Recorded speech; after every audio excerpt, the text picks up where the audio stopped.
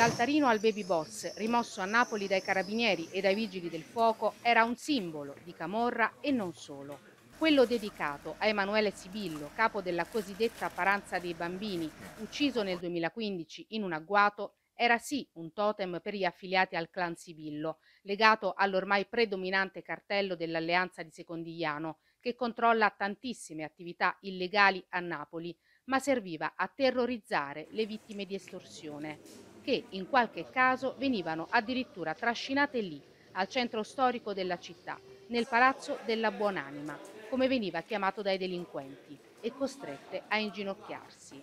In questo modo avveniva la richiesta estorsiva, tutt'altro quindi che un ricordo personale. L'altarino con tanto di busto era funzionale alle attività del clan, secondo l'inchiesta della DDA di Napoli con i carabinieri, al termine della quale sono state arrestate 21 persone.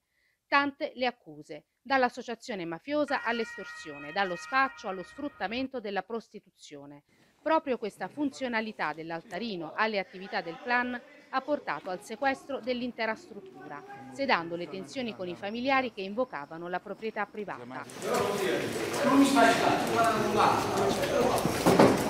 All'interno dell'altarino eretto in memoria di ES17, come veniva chiamato Sibillo, c'era anche la sua urna con le ceneri, che è stata poi restituita ai familiari. Gaia Bozza, Sky TG24, Napoli.